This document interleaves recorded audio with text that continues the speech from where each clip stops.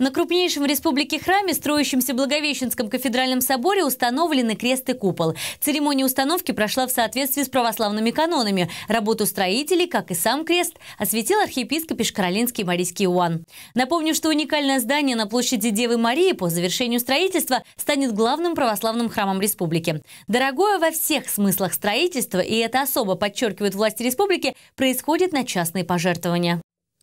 Церковном календаре день 28 октября 2013 года не отмечен какими-либо крупными праздниками. Однако на площади Девы Марии, устроившегося Благовещенского собора, все поздравляли друг друга именно с праздником. С точки зрения строительной, установка главного купола с крестом над зданием кафедрального собора означает завершение основного этапа. Внешний силуэт сооружения после этого изменится незначительно. Самое главное, Благовещенский собор обретет свои окончательные параметры. Пока, впрочем, суеверные строители не берутся утверждать, составит ли высота главного храма республики 74 метра метра или он будет выше. Результаты замеров обещали объявить дополнительно. Духовная составляющая произошедшего и вовсе не подвержена каким-либо человеческим измерениям. О значении нового храма никто не скажет так, как архиепископ Ишкаролинский и Марийский. Сама погода, ее тишина, спокойствие не просто благоприятствует поднятию купол, потому что один листочек сегодня не шевелится, но и свидетельствует всем нам о том, что сама Пречистая Богоматерь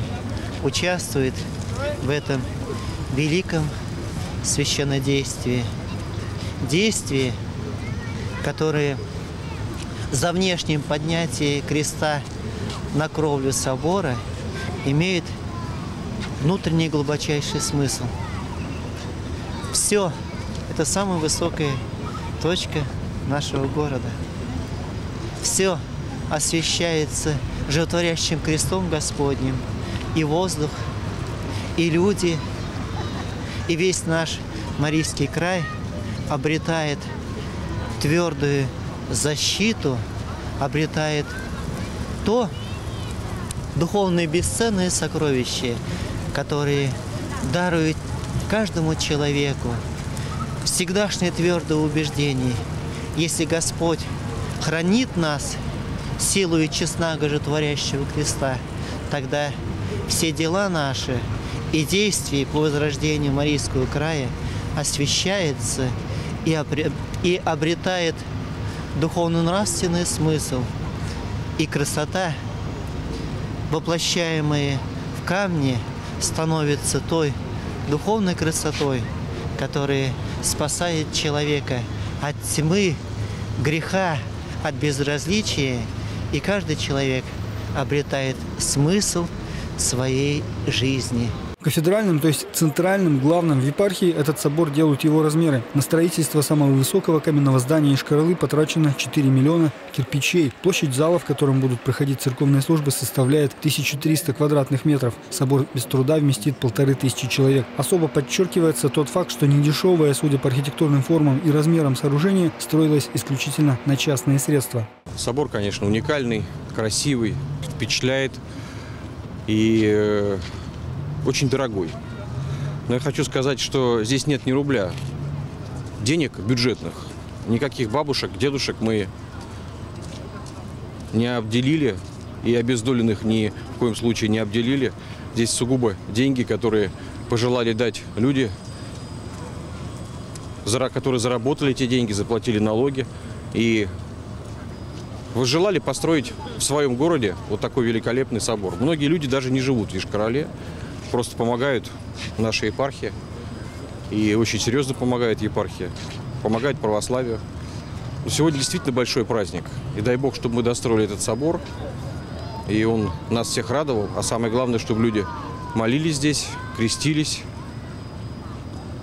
венчались.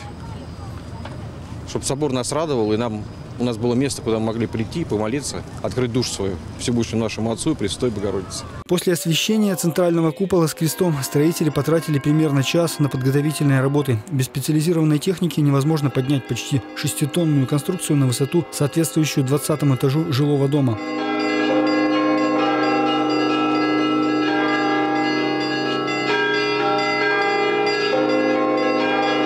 Наверняка будут еще этапы строительства Благовещенского собора, которые привлекут внимание горожан. Однако по традиции вслед за установкой главного купола следующим крупным этапом называют освящение уже полностью построенного храма и передачу его верующим.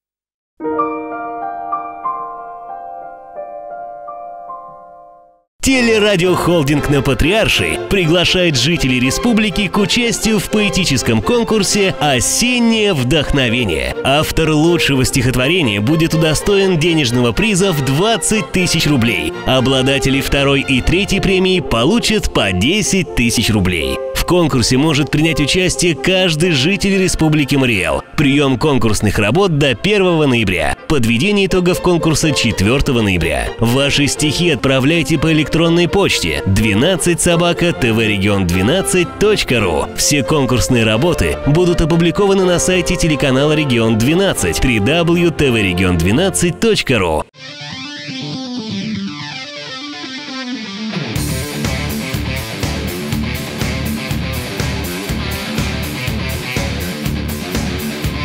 Информационная служба ТВ и радио на Патриаршей.